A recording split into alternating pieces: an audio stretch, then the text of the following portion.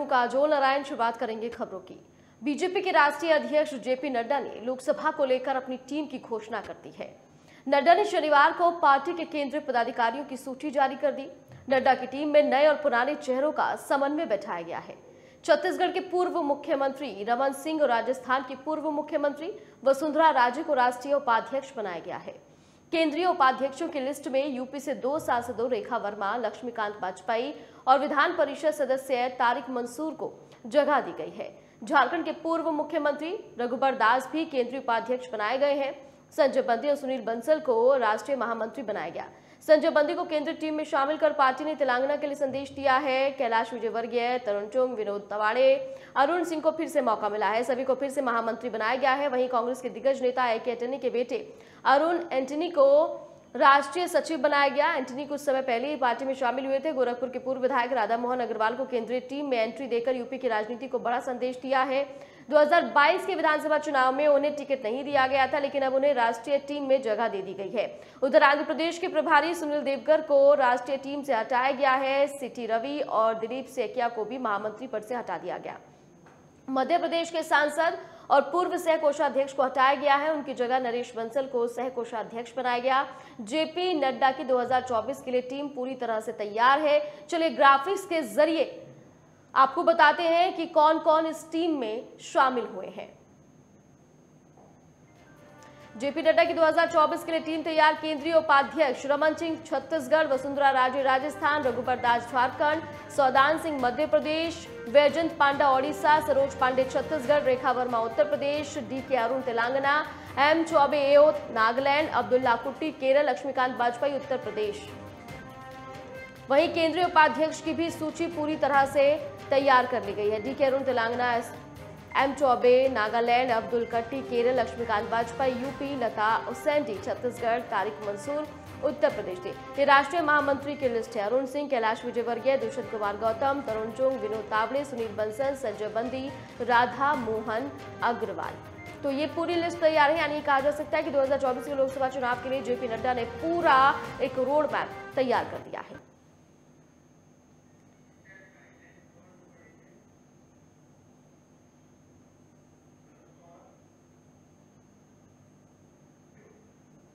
वहीं दिल्ली अध्यादेश के खिलाफ एनसीपी अध्यक्ष शरद पवार के रुख को लेकर असमंजसता बढ़ती जा रही है, क्योंकि ये बिल सोमवार, मंगलवार में से किसी एक दिन संसद के पटल पर पेश किया जाएगा। लेकिन अब कहा जा रहा है कि जिस दिन ये बिल पेश किया जाएगा, क्या उस दिन शरद पवार राज्यसभा में मौजूद रहेंगे? क्योंकि कहा तो ये जा रहा है कि जिस दिन सरकार सदन में ये बिल लेकर आ रही है, ठीक उसी दिन पीएम मोदी को पुणे में तिलक पुरस्कार दिया जाना है। ये तिलक पुरस्कार शरद पवार ही पीएम मोदी को देने वाले हैं। तो ऐसे में सवाल उठता है कि अरविंद केजरीवाल को दिल्ली आदेश पर समर्थन की बात कह चुके पवार का क्या रुख रहने वाला है? वहीं आम आदमी पार्टी चाहती है कि जिस दिन ये बिल आता है, उस दिन शरद पवार सदन में मौजूद रहें। दिल्ली आदेश केंद्र सरकार को ये शक्ति देता है कि वो केंद्र शासित प्रदेश दिल्ली में कई प्रशासनिक कार्यों की जिम्मेवारी राज्य के उपराज्यपाल की होगी, न कि दिल्ली के सीएम की। इसी सिलसिले में सबसे महत्वपूर्ण समूह अधिकारियों के ट्रांसफ़र और पोस्टिंग की पूरी जिम्मेवारी और जवाबदेही राज्यपाल की होगी। इसी कानून को कायम रखने के लिए केंद्र सरकार ने उन्नीस मई को राष्ट्रीय राजधानी दिल्ली सरकार अध्यादेश 2023 जारी किया था। इसी बिल को सोमवार को गृह मंत्री अमित शाह संसद में पेश करेंगे। केंद्र सरकार को आदेश लाने की ज़रूरत इसलिए पड़ रही थी क्योंकि सुप्रीम कोर्ट ने दिल्ली सरकार की तरफ़ से दायर किए गए एक फैसले में उनके हक में फैसला दिया था।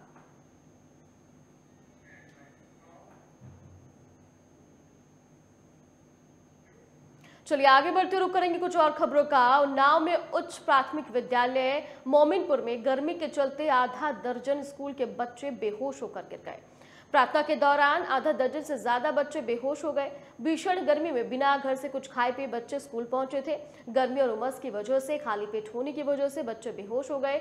बच्चों को आनंद फानन में नजदीकी अस्पताल में इलाज के लिए भर्ती कराया गया। पूरा मामला उन्नाव जनपद के विकास खंड सिकंदरपुर सिरौसी के कंपोजिट विद्यालय मोमिनपुर का बताया जा रहा है।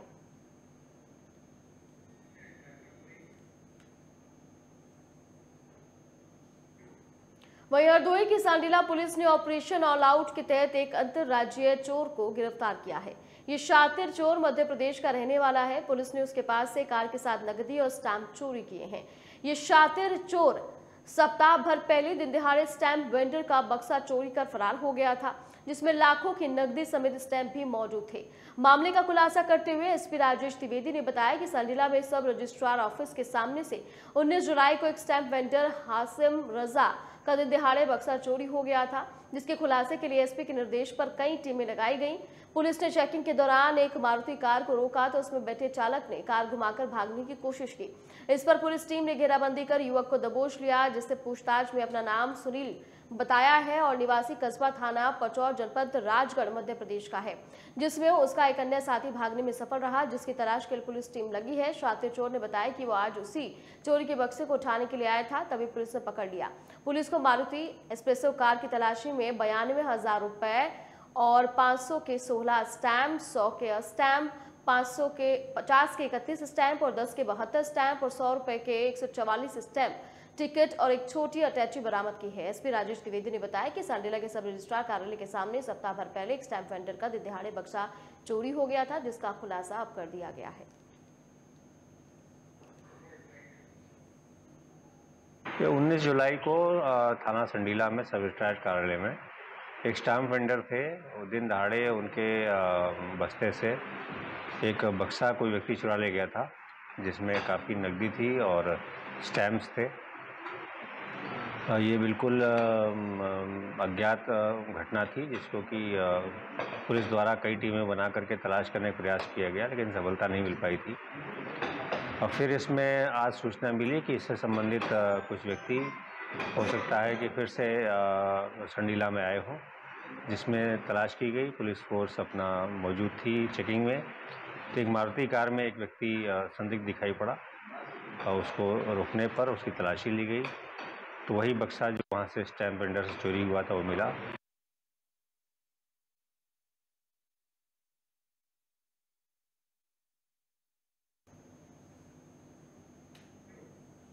महाराजगंज ज़िले में एक सभागार में शुक्रवार को स्वास्थ्य विभाग के द्वारा फाइलेरिया बीमारी से बचाव को लेकर बैठक का आयोजन किया गया।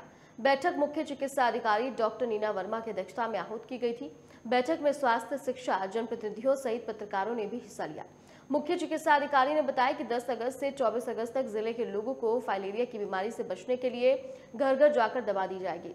इस दौरान उन्होंने बताया कि फाइलेरिया फ़िलहाल लाइलाज बीमारी है। दो साल से ज़्यादा उम्र के किसी भी स्वस्थ व्यक्ति फाइलेरिया की दवा ले सकते हैं। फाइलेरिया की दवा साल में एक बार लेनी है। पाँच साल तक दवा लेने के बाद इस बीमारी से अस्सी से नब्बे प्रतिशत तक बचा जा सकता है। गर्भवती महिला और गंभीर बीमारी से ग्रसित को छोड़ सभी स्वस्थ लोग फाइलेरिया की दवाई ले सकते हैं। दवा खाली पेट नहीं लेने की भी सलाह दी गई है। बैठक में अपर मुख्य चिकित्सा अधिकारी डॉक्टर राजेंद्र प्रसाद भी मौजूद रहे। आज की ये बैठक फाइलेरिया उन्मूलन कार्यक्रम जो कि शुरू होने जा रहा है 10 अगस्त से 28 अगस्त तक, उसके संबंध में मीडिया सेंसिटाइजेशन को लेकर की गई और स्वास्थ्य विभाग की तरफ़ से। इस बैठक में हम लोगों ने शहर के सभी पत्रकार बंधुओं को आमंत्रित किया था, उनको सम्मानित किया और उन सबको फाइलेरिया के बारे में काफ़ी जानकारी हम लोगों ने दी, जिससे कि जो वो लोग अगर चाहेंगे तो जनता को पहुंचाएँगे हमारी बात।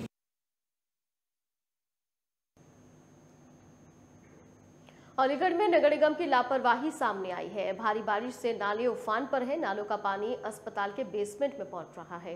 भारी बारिश की वजह से मैक्सफोर्ड अस्पताल के बेसमेंट में जल भराव हो गया। बेसमेंट में पानी पहुँचने से करोड़ रुपए की मशीनरी खराब हो गई है। सालों पुराने मरीजों के रिकॉर्ड भी पूरी तरह से नष्ट हो गए हैं। मैक्सफोर्ड अस्पताल के संचालक डॉक्टर चित्रंजन ने पहले भी कई बार नगर आयुक्त से इस बात की शिकायत की थी, लेकिन कोई ध्यान नहीं दिया गया।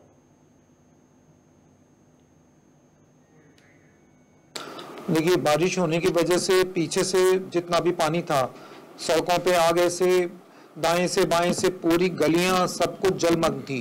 और बेसमेंट में तोड़ के बिल्कुल और नीचे से हमारे यहाँ से पानी आना शुरू हुआ और देखते देखते हमारे पूरा बेसमेंट हमारा पूरा आ, बिल्कुल जलमग्न हो गया। हम लगातार मदद की गुहार लगाते रहे। हमने नगर निगम वालों से भी, सब तरीके से, कमिश्नर साहब से भी हमने रिक्वेस्ट करी, सब तरीके से। उन्होंने कहा कि हमारे पास में अभी कोई व्यवस्था नहीं है।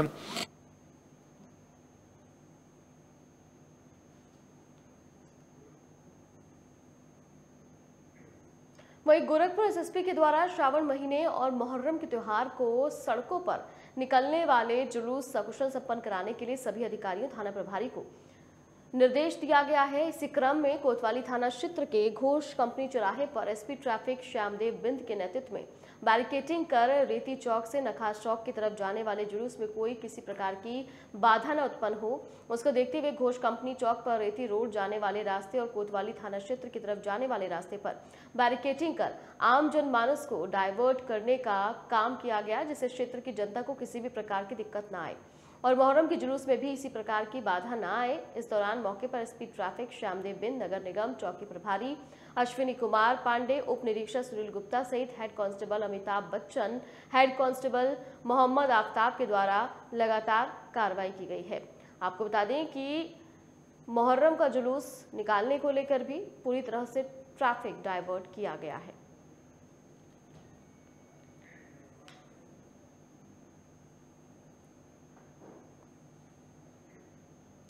वहीं कासगंज ज़िले में किन्नरों ने युवक को तालिबानी सजा दी है। युवक का सिर मुंडवाकर युवक को पेशा पिलाया गया।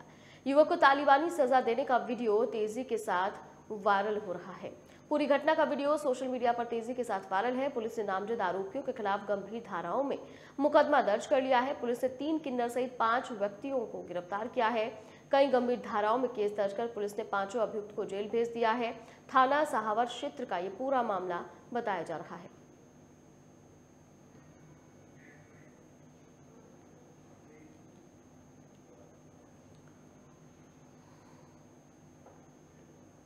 वहीं हरदोई ज़िले में तेज रफ्तार दो बाइकों की आमने सामने की जोरदार टक्कर हो गई, जिसमें दोनों बाइक पर सवार दो लोगों की मौत हो गई, जबकि दो लोग गंभीर रूप से घायल हो गए हैं। पुलिस ने शव को कब्जे में लेकर घायलों को एंबुलेंस द्वारा सामुदायिक स्वास्थ्य केंद्र में भर्ती कराया, जहाँ से डॉक्टर ने दोनों की हालत गंभीर देखते हुए मेडिकल कॉलेज के लिए रेफर कर दिया है। शाहबाद पाली मार्ग पर पाली थाना क्षेत्र के परेली के पास एक पेट्रोल पंप के पास तेज रफ्तार दो बाइकों की जोरदार टक्कर हो गई थी।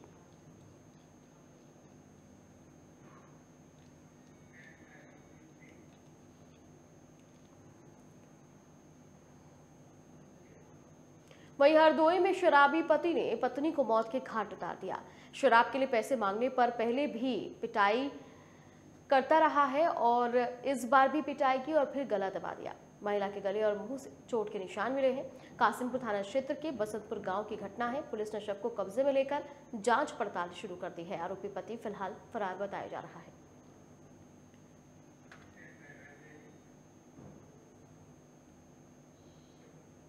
रायबरेली में गंगा एक्सप्रेसवे के कर्मचारियों की लापरवाही से दर्दनाक सड़क हादसा हो गया। आपको बता दें कि यहाँ पर निर्माण में मानक विहीन गड्ढे की खुदाई से बने तालाब के पानी में डूबने से किशोरी की दर्दनाक मौत हो गई। किशोरी की मौत से परिवार में कोहराम मच गया है। मामला जगतपुर थाना क्षेत्र के कस्बे का है, जहाँ से गंगा एक्सप्रेसवे और बाईपास गुजर रहा है। लेकिन कंपनी के कर्मचारियों द्वारा सड़क निर्माण में मानक विहीन बेहिसाब मिट्टी की खुदाई हो रही है, जिसका खामियाजा एक किशोरी को अपनी जान देकर चुकाना पड़ा है।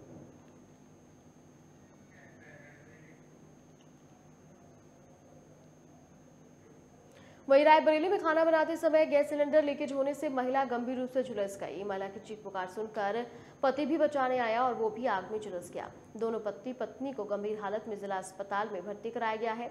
पत्नी की हालत गंभीर होने से लखनऊ ट्रामा सेंटर उसे रेफर कर दिया गया। मामला सलोद थाना क्षेत्र के अंतर्गत कस्बे के स्थित मोहद्दीपुर मोहल्ले का है, जहाँ मोहिनी अपने परिवार के लिए खाना बना रही थी। तभी गैस पाइप में लीकेज होने की वजह से उसके कपड़ों में आग लग गई। महिला की चीख पुकार सुनकर उसका पति भी उसे बचाने आया। दोनों आग में झुलस गए जिसके बाद आनंद फानन में दोनों को अस्पताल में भर्ती कराया गया।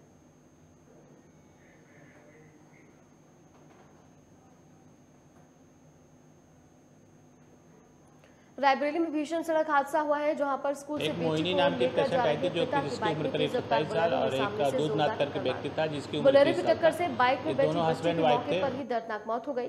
वहीं बाइक सवार पिता समेत दो लोग गंभीर रूप से घायल हुए। मामला हरचंदपुर थाना क्षेत्र के अंतर्गत महाराजगंज रोड का है जहाँ गढ़ी हरदासपुर गाँव के रहने वाले विकास अपनी तेरह साल की बेटी सोनाली को कोचिंग के बाद मोटरसाइकिल से लेकर घर जा रहे थे तभी सामने से आ रही तेज रफ्तार बोलेरो ने बाइक को जोरदार टक्कर मार दी। बाइक के परकच्चे उड़ गए और बेटी की दर्दनाक मौत हो गई। वहीं पिता गंभीर रूप से घायल है।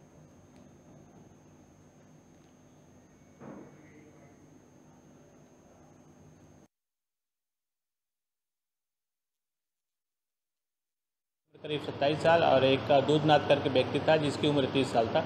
ये दोनों हस्बैंड वाइफ थे पति पत्नी थे। ये कुछ रात के टाइम खाना बनाते समय कुछ गैस फट गया, जिसके वजह से इनको बुरी तरह से जल गई। जो इनकी वाइफ थी मोहिनी करीब साठ परसेंट के आसपास जली थी और जो दूधनाथ थे, करीब तीस से चालीस परसेंट जले हुए थे। बाकी इनको फ़र्स्ट एड कर दिया। सी सी से सलोन सी से रेफ़र किया गया था। सलोन के रहने वाले थे।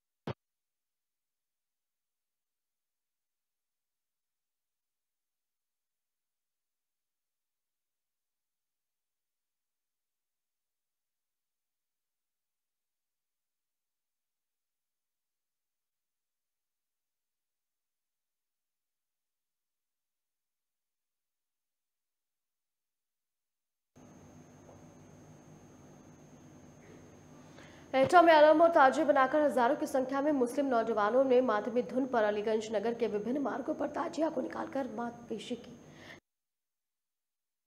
वक्त हज़ारों की संख्या में लोग इसके मातम पेशी के कार्यक्रम में शामिल हुए। आपको बता दें कि अलीगंज जनपद एटा के ताजे उत्तर प्रदेश ही नहीं, बल्कि देश में अपनी कारीगरी के लिए प्रसिद्ध है। नगर में काफ़ी दूर दराज से मुस्लिम बंधु आकर इन ताजियों की इबादत कर इस्लाम धर्म के मसीहा इमाम हुसैन की शहादत को मातम पेशी कर मनाते हैं।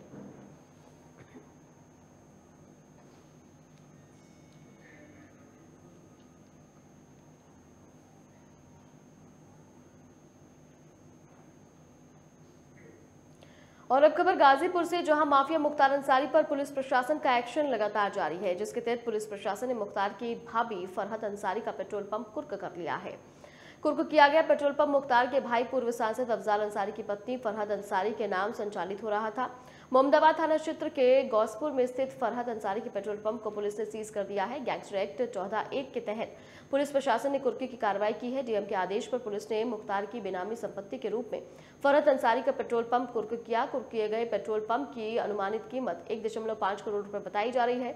गौरतलब है, मुख्तार के भाई अफजल अंसारी एक दिन पहले ही हाईकोर्ट से जमानत मिलने के बाद गाजीपुर जिला जेल से रिहा हुए अफजाल अंसारी को पिछले उनतीस अप्रैल को गाजीपुर एमपीएमएलए कोर्ट ने गैंगस्टर के मामले में चार साल की सजा सुनाई थी, जिसके बाद से ही वो जेल में बंद थे, जबकि आज ही गाजीपुर पुलिस प्रशासन मुख्तार के करीबी जाकिर उर्फ़ विक्की का भी पेट्रोल पंप कुर्क किया। थाना मोहम्मदाबाद क्षेत्र में गोसपुर गाँव में एक पेट्रोल पंप चिन्हित किया गया था, जो I S one nine one का सरना मुख्तार अंसारी है। उसके द्वारा अपने अवैध तरीके से कमाई गई संपत्ति के द्वारा अपने परिजन, जो उसके सजा याफ्ता भाई अफजाल अंसारी की पत्नी थी, उसके नाम लिया गया था।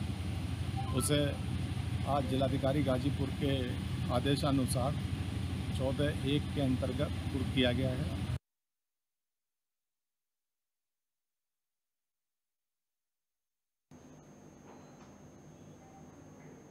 गुजरात के झालावाड़ की जीवनदायिनी माने जाने वाली सुरेंद्रनगर सुरसागर डेयरी की अड़तालीसवीं वार्षिक आम सभा और स्नेह मिलन 2023 कार्यक्रम लिबंडी में आयोजित किया गया।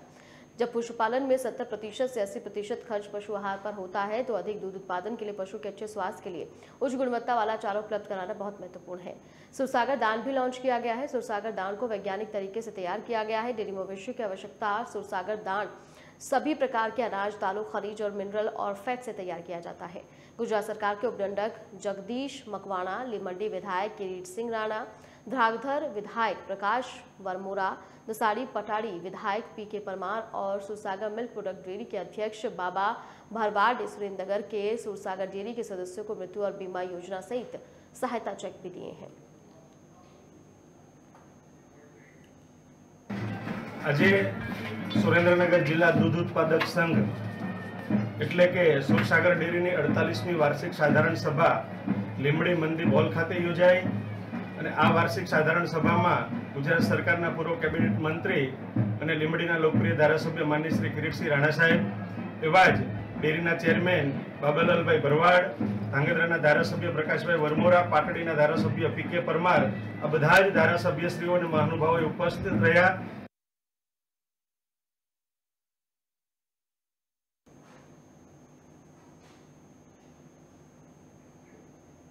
पौड़ी के सतपुली दुधारखाल रोड पर बैक्स पिकअप दुर्घटनाग्रस्त हो गई। दुर्घटना पट्टी मल्ला बदलपुर के ग्राम सभा तसीला और ग्राम सभा बईस के बीच हुई है, जहाँ गुजर खंड पेयजल योजना में काम कर रहे जम्मू कश्मीर के मजदूरों से भरी एक मैक्स पिकअप दुर्घटनाग्रस्त हो गई, जिसमें चालक समेत तीन सवार मौजूद थे। मौके पर मौजूदा क्षेत्रवासी रण सिंह, नेगी, मल्ला टसीला और तमाम लोगों ने रेस्क्यू कर उन्हें बाहर निकाला है। घायलों को अस्पताल में भर्ती कराया गया।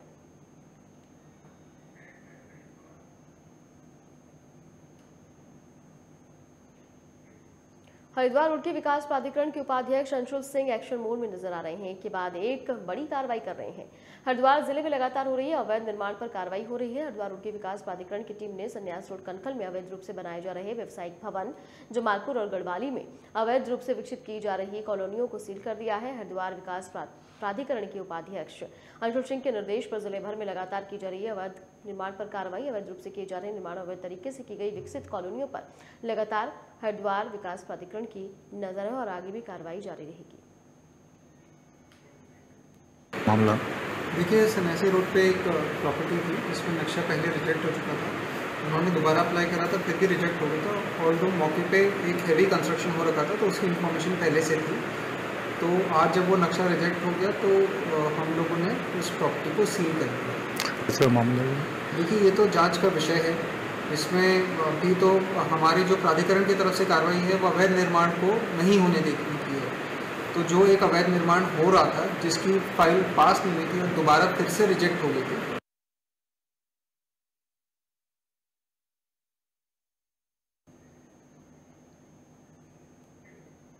और इसी के साथ फ़िलहाल खबरों में इतना ही। आप बने रहिए न्यूज़ वॉल इंडिया के साथ।